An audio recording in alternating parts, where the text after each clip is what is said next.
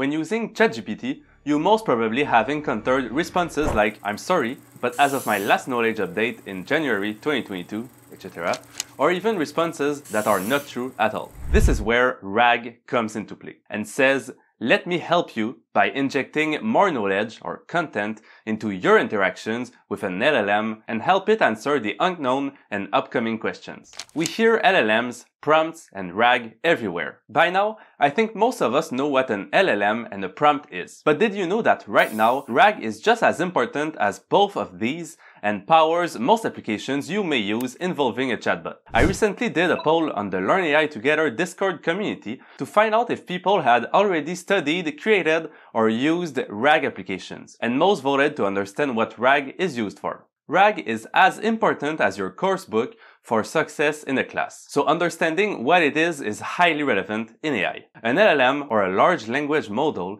is just an AI model trained on language to talk with humans, like GPT-4 used in ChatGPT. A prompt is simply your interaction with it. It's the question you ask it. But if you are experiencing issues like hallucinations or biases using such a language model or LLM, then RAG or Retrieval Augmented Generations comes into play. Let's quickly clarify hallucinations first. It's when the model returns random things that seems true but aren't, simply because it doesn't know the answer. In fact, a language model is constantly hallucinating. It only predicts words in a statistical way. It turns out that when they are trained with the entire internet, there are so many examples that they manage to accurately predict the next logical words to answer most questions. Despite this, it hallucinates. It doesn't really understand what it's talking about and just outputs one word at a time that is probable. What is incredible is that most of these hallucinations are actually true and answer our questions. However, some of them are real hallucinations of fabricated facts or scenarios, and that can cause quite a few problems if they are not sufficiently controlled. While there are several reasons why LLMs hallucinate, it is mostly because they lack relevant context. Either because they cannot find the relevant data or don't know which data to refer to for a particular question. This is because they were trained to answer and not to say, I don't know. RAG solves this by automatically adding more knowledge or content into your interactions with an LLM. Put simply, you have a dataset, which is required, and you use it to help the LLM answer the unknown and upcoming user questions.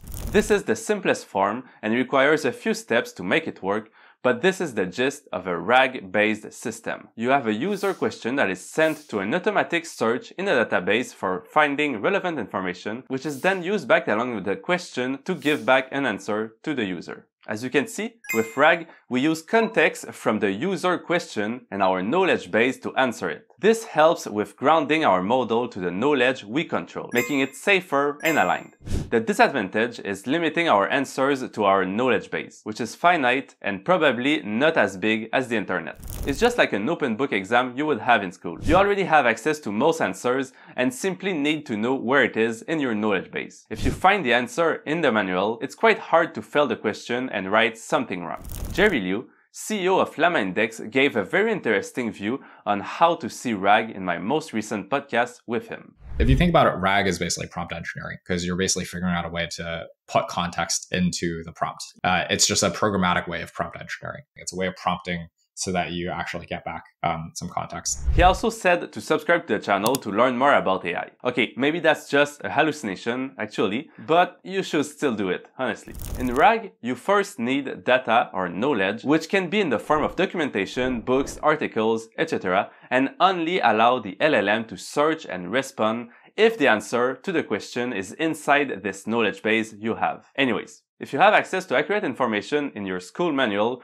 why would you try to come up with something different instead? This is currently the best way to control your outputs and make your model safer and aligned. Basically, the best way to ensure you will give the right answer and get your best grade. For example, we recently built an AI tutor to answer AI related questions. We wanted accurate responses for our students, both in terms of accuracy to give the right answer and in terms of relevancy, so up to date information.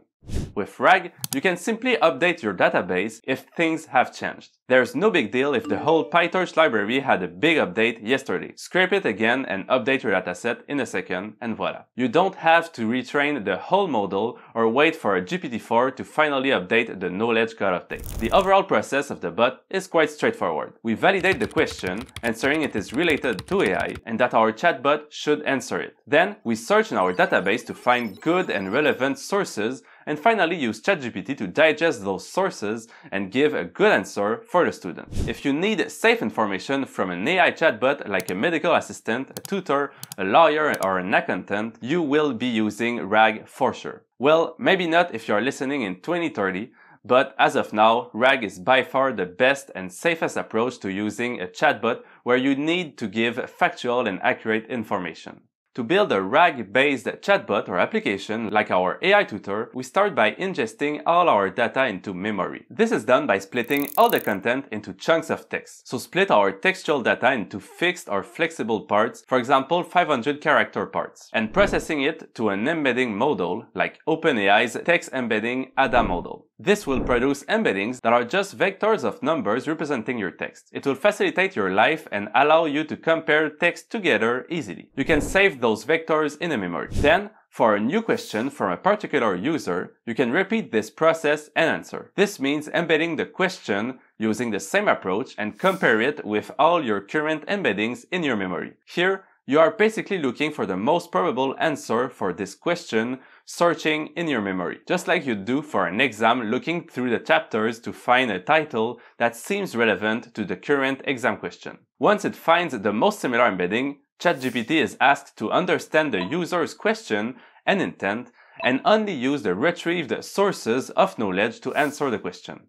This is how RAG reduces hallucination risks and allows you to have up-to-date information since you can update your knowledge base as much as you want and ChatGPT or your current language model simply picks information from it to answer. Plus, as you see, it cites all sources it found on the question for you to dive in and learn more, which is also a plus when you are trying to learn and understand a new topic. Then, there are still many things to consider, like how to determine when to answer a question or not. If it is relevant or in your documentation, understand new terms or acronyms not in ChatGPT's knowledge base, find the relevant information more efficiently and accurately, etc. Those concerns are all things we've improved through using various techniques like better chunking methods, re-rankers, query expansion, agents, and more that you can learn about in our free advanced RAG course we've built together with Towards AI and Activeloop that I linked in the description below. Before some of you may ask, yes, an alternative to RAG would be to fine-tune your model on your specific task. Basically to further train a model on your own data to make it more specific and ingest the knowledge you have rather than always searching in it, like memorizing the book before the exam instead of bringing it with you.